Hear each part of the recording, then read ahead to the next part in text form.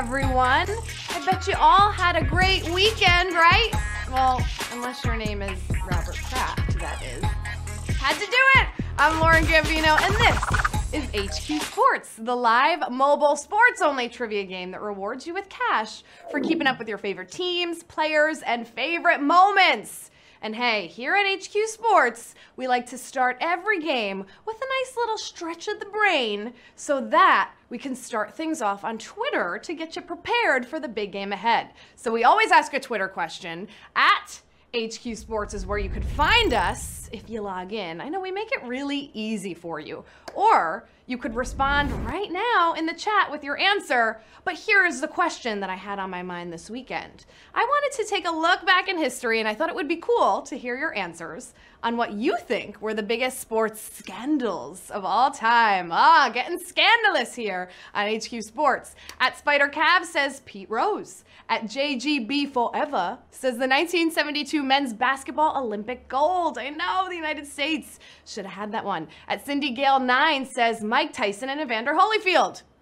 You guys know the whole ear biting thing, right? That was wild. And at Sammy GD says, A-Rod slapping the ball out of the first baseman's glove. I just had to mention that one for Lauren Gambino. Well, thank you so much for reminding me of that ALCS game. When it's against Boston, anything goes. I think he was safe. There were so many, but for me, two of them stick out the most. The first might be the craziest of all time. The Nancy Kerrigan story, right? Yes, Tonya Harding was named an accomplice and banned from the sport for life. So wild. Oh, and here we go. Sammy Sosa, he swings, he breaks the bat. Wait, what's the matter? Could it be that there's cork in that bat? Ah, how'd it get there? If you're so innocent, huh? The cork, cork just grows inside of a wood bat, does it? Hmm. Interesting story. Thank you all so much for your responses. There were so many good ones to reminisce about. So if you want to read more, head back on Twitter at HQ Sports to read some of them after the game. And listen, as much as I love a good walk down memory lane, I could do it all day. We got a game to play right now. Tonight's game is 12 rounds of sports only trivia. If you get them all right, then you win. Tonight we are playing for $1,000. We're also playing for points. And in tonight's game, every question is gonna be worth, ready? 10 times more points than usual! I like that. The season finale is Sunday, March 3rd at 9 p.m. Eastern Time, so that means you have less than a week to earn more points and level up. Remember, you can earn points by answering questions correctly. Once you earn enough points to level up, that means you get a free pass on the corresponding question. The higher your level, the more free passes you get. That makes winning any game of HQ a little bit easier if you have a bunch of free passes. You can level all the way up to 10, meaning 10 free passes. That's insane. Let's check in and see what our prize is for that grand finale. Oh yeah, season two finale, 115,115. It's a lot of ones and a couple of fives. That's a big prize. That prize is only gonna keep growing with the more points that you keep earning. And don't forget to pick up an extra life. They can come in clutch when you need a big play to help you win. You can also earn them for free by inviting new players to play HQ with your username as the referral code, or by playing five days in a row, you'll earn one for free. Easy as that. All right, team. I think we're all warmed up and ready to compete, right? The game clock is set, and I see that you all have your game faces on. What, you thought this thing was only one way? No, I see you. Timmy, that was rude. I'll let that I'll let that pass this time, all right? With $1,000 on the line, you better give it your all right now to the over 128,000 players ready to take that prize. Let's go. Round 1 starts right now. What team just snapped an eight-team game home losing streak? New York Knicks, Harlem Globetrotters, or the Monstars? Ah, I'm just gonna uh, take one answer away from you. The Harlem Globetrotters always win. Spoiler alert, if you've never seen them, they always win. Hope you didn't pick them. But listen, when you hear seven in a row at the Garden, they're not talking about the Knicks, they're talking about Billy Joel. Thanks, Bill Burr, for that one. If you watched the Oscars, you probably saw this moment. Um, after 18 consecutive home losses, the Knicks won tonight. I repeat, the Knicks won tonight. Man, Samuel couldn't wait to tell Spike Lee, who seemed to not really care. He just wants them to tank for the draft pick, I bet. New York Knicks is the answer here. They won one, finally. Oh, yeah. The New York Knicks at the Garden. I know Billy Joel was there for a few nights. My friend saw him live, and it was wonderful. New York Knicks was the answer, though, that we were looking for. 103,332 of you knew that one. And hey, listen, team, I need your eyes on the screen for this one right here. We're doing something different. You gotta focus and pay attention. Here it is. Which of these terms describes this popular high jump technique? The Fosbury flop, spin. I got ahead of myself there. Here we go. Which of these terms describes this popular high jump technique? Fosbury flop, Spinderella, or jumping jack flash?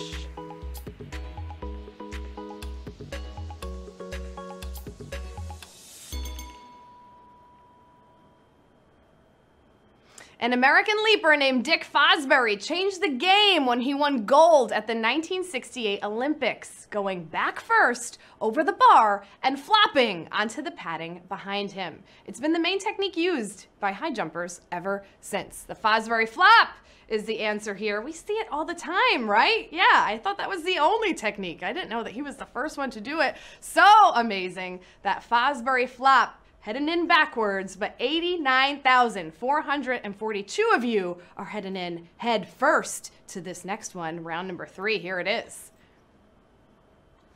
Round number three is coming at ya. The NBA Hall of Famer, known as the Admiral, played his entire career for what team? Dallas Mavericks, San Antonio Spurs, or the Houston Rockets? Played his entire career for one of these teams. Which one is it gonna be?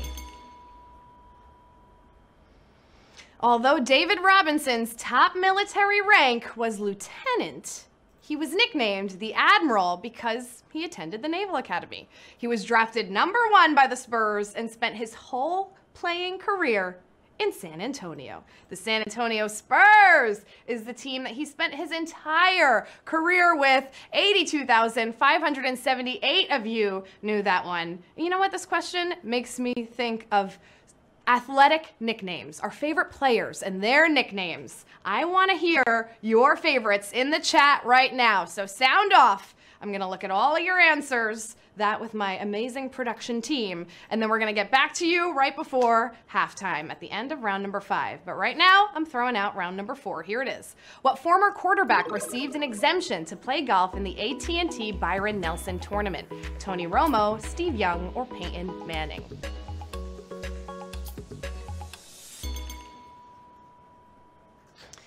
You know, it's just not fair. Some people have too many talents, am I right? Like, be good at one thing and we'll like you more. Just kidding, I like this guy. Not only was he a successful quarterback and now everyone's new favorite announcer, my boy Tony Romo is a world class golfer too. Did you know? He'll play his second official PGA tournament at this year's Byron Nelson. Tony Romo! 73,057 of you knew that one. He was a great fantasy quarterback to have. But I'm slinging round number five, Romo style. Here it is. Who is the youngest? Captain. We're coming back to round number five in just a second. Hang on tight. Round number five will be coming at you. Maybe I just threw that spiral a little too hard like Tony Romo would. I know, I probably hit you right in the numbers at home, didn't I? I was trained to do so. Just kidding. My mom made me take dance instead of playing flag football, which is what I really wanted to do as a kid.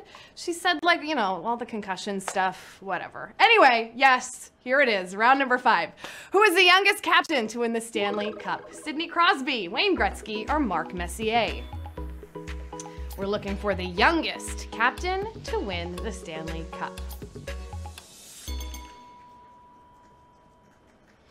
Sidney Crosby was 21 years, 10 months, and 5 days old when he won the Stanley Cup in 2009 over the Detroit Red Wings. He was the one to do it, Sidney Crosby. Oh, yeah, there he is. That big win. It must feel so good to hoist that over your head. Ah, amazing. Sidney Crosby is the answer here at round number five. 60,312 of you knew that. But did you know that Sidney Crosby's nickname is actually Daryl? Yeah, it's a fun story. You should look that one up. You sounded off in the chat. Our wonderful producer Laura is here. Will the Thrill from J Sharp Comedy. I like that. Fixia says the Korean zombie. And Mike Mayer says the round mound of rebound. Oh, yeah. Round number six coming at you.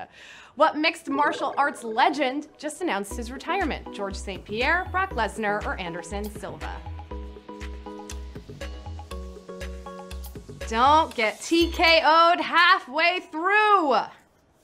Well, it was an emotional moment in Montreal, complete with a shout out to idol Wayne Gretzky for one of the all time greats the eternally classy George St. Pierre announced his retirement. Yes, he did. George St. Pierre is the answer. 59,209 of you getting that one right. Wow, knocking out over 30,000 here at round number six. We got second half of this game to play. Give me some nicknames for me. You know, you call me the Great Gambino, right? I want to hear some more. Give me some more nicknames for yours truly, and I'll be sounding off at the end of the game with that one. Round number seven. Who won NFL Coach of the Year for three different teams? John Fox, Chuck Knox, or Bill Parcells? What a feat. Three different teams, am I right? This is hard to do. And only one man has pulled off this triple, winning the award with the Rams, Bills, and Seahawks in 73, 80, and 84. His nickname, Ground Chuck. Yeah, I'm full of these nicknames for you tonight. Chuck Knox is the man to do it. 21,420 of you getting that one right. Team, we only got a few more to go here, and they're only getting tougher. Can you hang on in there for the win? It's round number eight. MMA legend Fedor Emelianenko has not won a fight in what promotion? UFC, Bellator, or Pride? Which is it, team? Well, for the UFC's Dana White, Fedor was the one that got away. Fedor began his MMA career in 2000 and became a legend by dominating Pride, Strike, For- Strikeforce, and Bellator. And even though he beat several former UFC champs, he never had an official UFC match. Can you believe it? UFC is the answer here at round number eight. 13,150 of you knew that one. You dodged that punch right there as I take you into round number nine. Who was the first pitcher to win the Rookie of the Year, MVP, and Cy Young Awards? Bob Gibson, Nolan Ryan, or Don Newcombe? And if anyone was wondering, the Yankees won three to nothing today. I know it's just spring training, but can a girl be excited? Justin Verlander is the only current pitcher to grab all three of these awards. But the only other hurler to do it was also the first Cy Young winner ever, Don Newcombe, who just passed away last week. What a legend! Don Newcombe is the answer. 8,442 of you knew that one. Oh boy. Round 10 is on deck. We got three to go. Here it is. Which horse was an undefeated Triple Crown winner? American Pharoah, Justify, or Secretariat? Undefeated Triple Crown winner.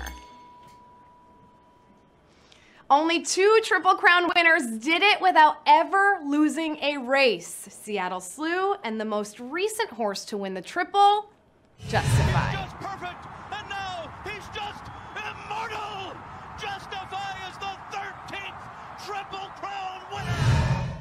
Justify went 6 and 0 over a few months and then happily retired. He put a lot of work in on those legs. Let him live that retirement life. Justify is the answer. 4,974 of you got that one. I won six bucks off of Justify, so he forever has a place in my heart. All right, two more to go to the finish. Can you hang in there? Can you keep pace like Justify? Actually, he's way faster than all of you. But let's see what you got. Round number 11. Who is the only tennis player to win a medal at four separate Olympic Games? Venus Williams, Martina Navratilova, or Maria Sharapova?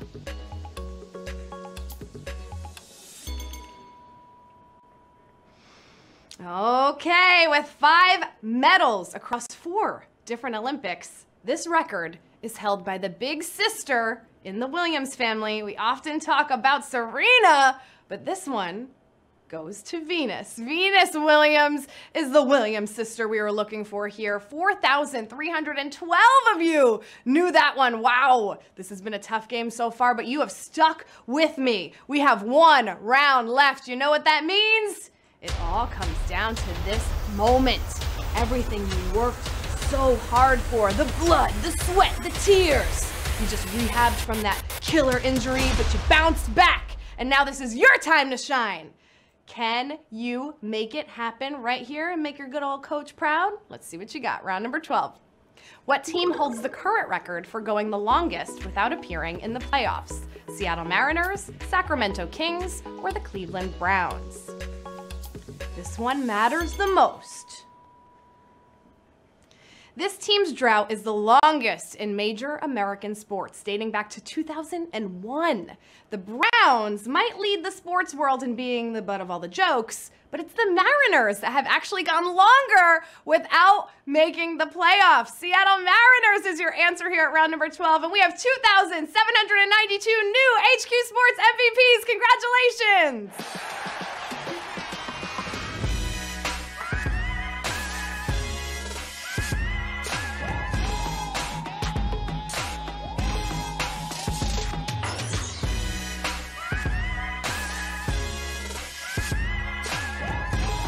2,792 winners. Oh yeah, looks like we are all taking home a prize of about 36 cents. And I know what you're gonna say, but it's 36 cents more than you started with 18 minutes and 35 seconds ago, all right? Maduke 007, I see you. That looks like a beautiful body of water in the background. Getting some sunshine. You got 36 cents to add to that vacation fund. Jay Robachek, 36 cents is coming to you. You could put that towards a new pair of glasses.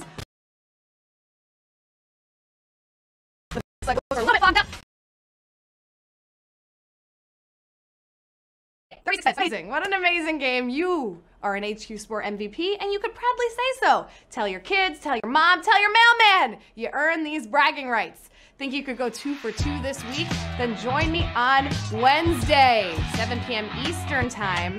Yes, that's when we play HQ Sports every Monday and Wednesday, so I will see you there. Also, follow us on social media at HQ Sports and me at Lauren underscore Gambino, just so easily put for you right here in this little box. Bengal Betty from Skull Dry- Dryler, Stone Clone by G Jolly, and Soren Lauren by Mossmatic. I like it. Until next time, remember to hydrate, focus, and keep your head in the game. Soren Lauren.